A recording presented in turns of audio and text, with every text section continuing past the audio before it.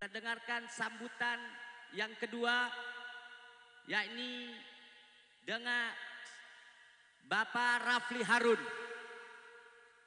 Kepada Bapak Rafli Harun, tempat waktu dan kami persilakan. Salam ala Nabi Muhammad.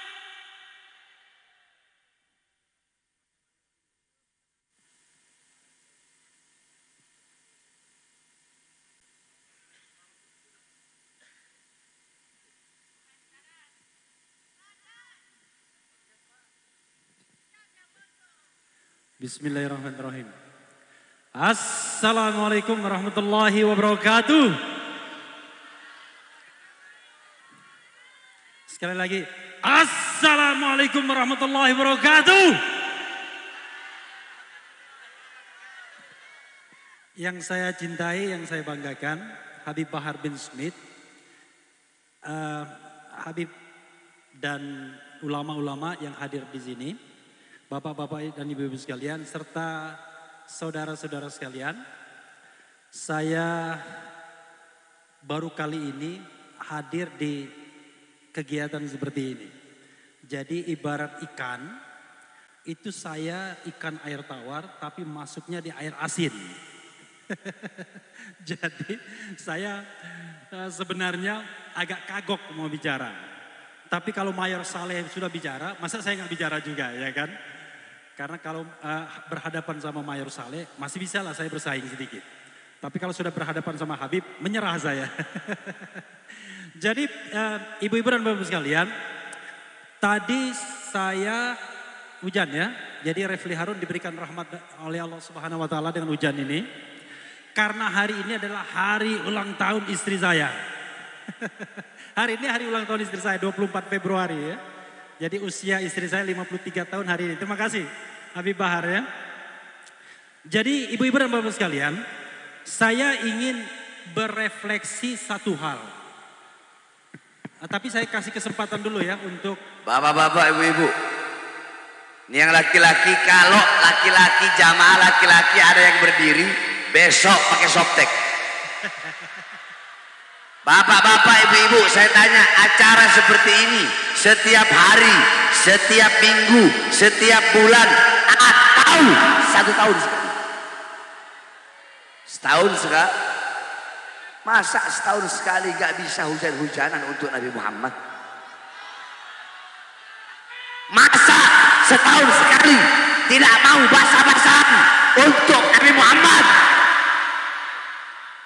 Ibu-ibu siap basah-basahan? Siap basah-basahan? Yang laki-laki siap basah-basahan? Di dunia pada malam hari ini kalian basah dengan air hujan untuk memuliakan Nabi Muhammad. Kelak di akhirat kalian akan basah dengan telaga kautsarnya baginda Nabi besar Muhammad. Amin ya Rabbal. Jadi kalau ada yang angkat kaki ganti pakai softtek. Saya yang beliin softtek ya. Dilanjut silakan. Refli.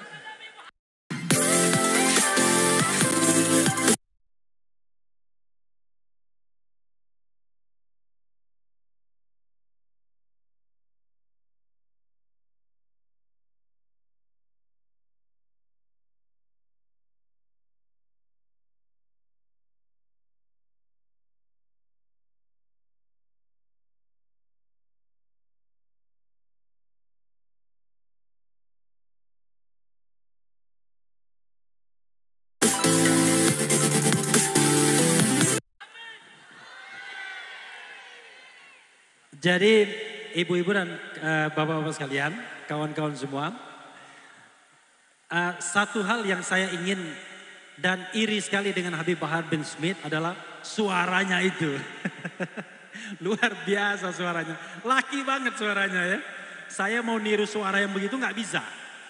Keren, keren jadas suaranya ya. Jadi uh, saya ingin berefleksi satu hal saja ya.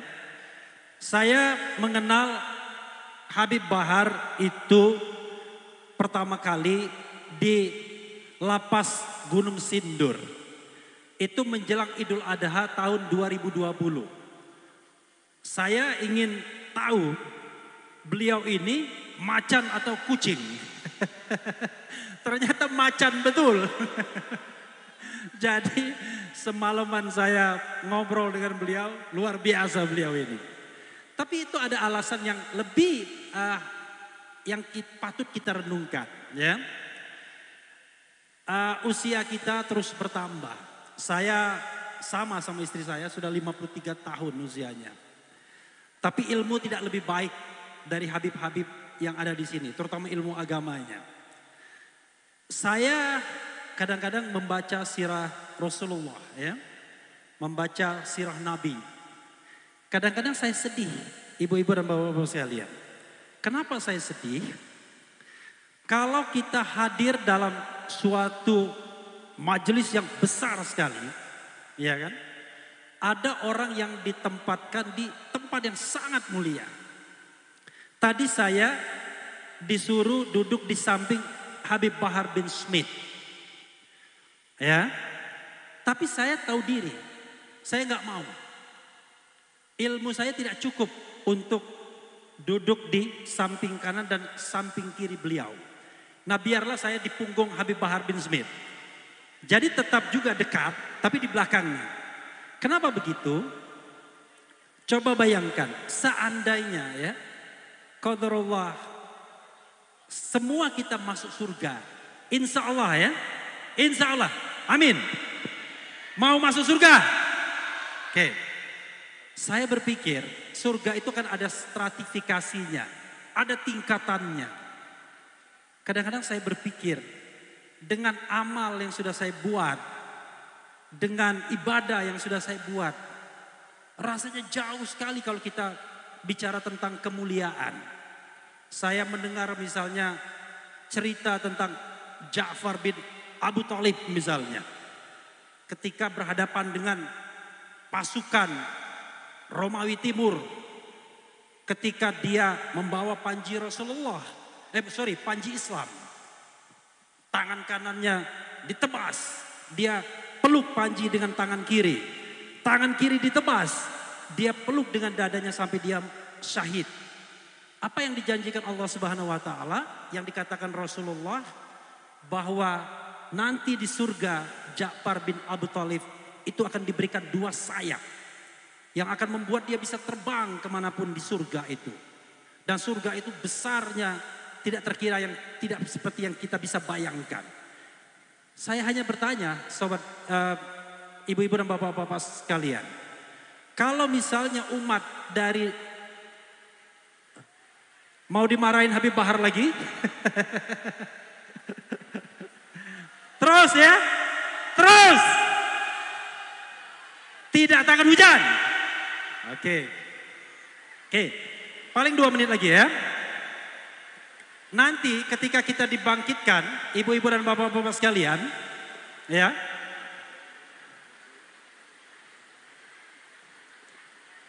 Iya tenang sedikit ya, tenang sedikit, tenang sedikit. Oh ya, yang punya anak kecil silakan uh, ke sebelah kanan saya ya, karena anak kecil harus dilindungi tetap ya. Orang dewasa nggak apa-apa. Nah,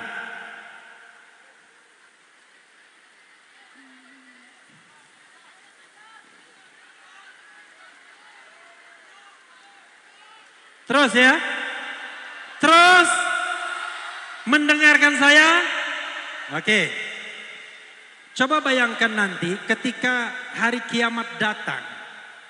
Dan kemudian semua manusia dikumpulkan dan dibangkitkan di padang masyar.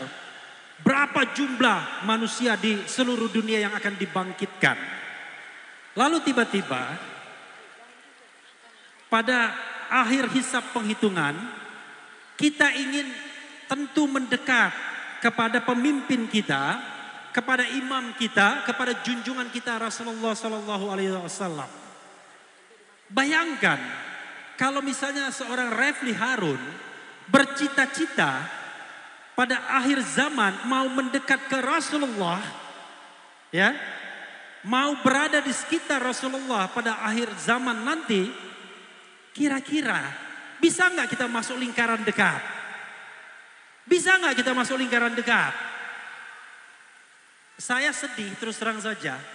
Kalau kita bayangkan dengan umat terbaik di masa Rasulullah seperti Ja'bar bin Abu Talib, Umar bin Khattab, Ali bin Abi Talib dan lain sebagainya.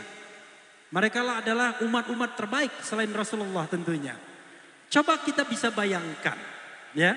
Karena itulah kemudian saya berikhtiar ibu-ibu dan bapak-bapak sekalian, teman-teman sekalian, kalau tidak dekat dengan Rasulullah karena saya terbatas amal ibadahnya, karena saya terbatas ilmunya, karena saya terbatas makomnya dan derajatnya, saya banyak dosanya dan barangkali ilmu dan kemudian ibadahnya juga tidak banyak, maka biarlah saya mendekat kepada zuriat Rasulullah. Saya mendekat kepada anak keturunan Rasulullah. Siapa tahu nanti Habib Bahar dan Habib-Habib di sini mengajak saya di surganya kelak, insya Allah ya kita semua ya,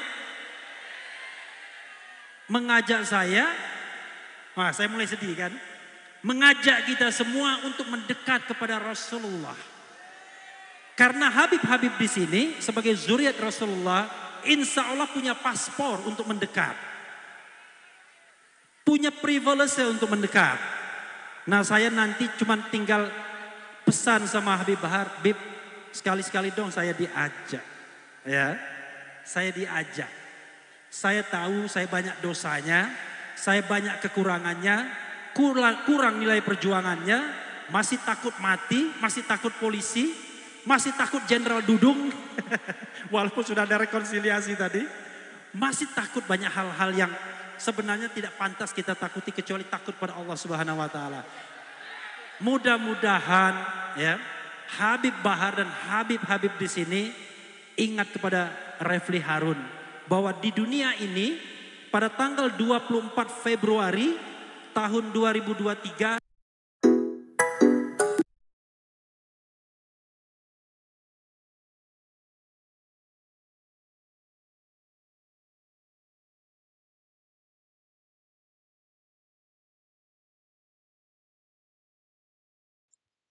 Itu tadi sabar kawan. Beli beli Harun. Top semangat.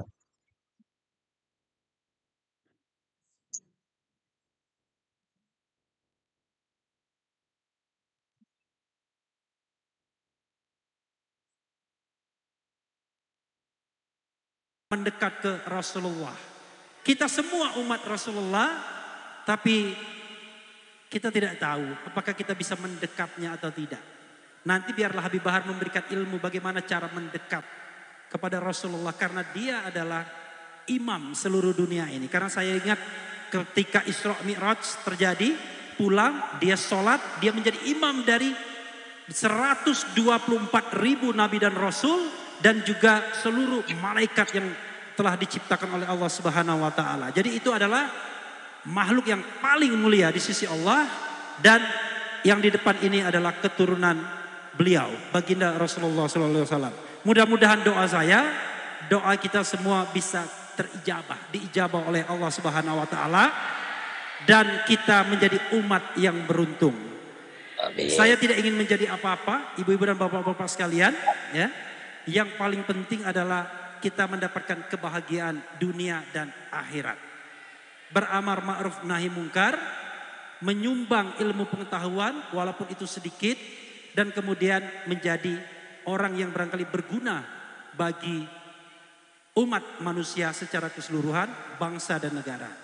Terutama berguna bagi agama dan semua kita. Itu saja eh, sambutan dari saya dan maafkan saya tidak bisa berteriak seperti Mayor Saleh. Wassalamualaikum warahmatullahi wabarakatuh. Takbir. Allahu Akbar.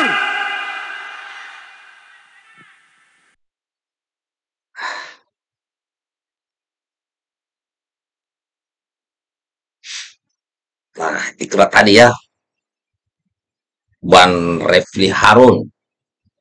Jadi pada saat hadir tempatnya Bahar, semua ya toko-toko diberikan sambutan ya, memberikan sambutan sebelum eh, para habaib, para kiai eh, memberikan tausiah. Nah, salah satunya tadi kita dengar dari Ban Repli Harun. Jadi luar biasa ya.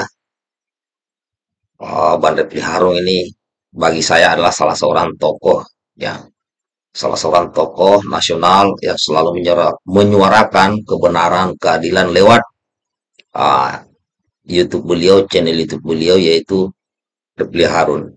Insya Allah di pada kesempatan nanti saya akan eh, ikut podcast di tempatnya Bang Repli Harun. Demikian kawan baikkan videonya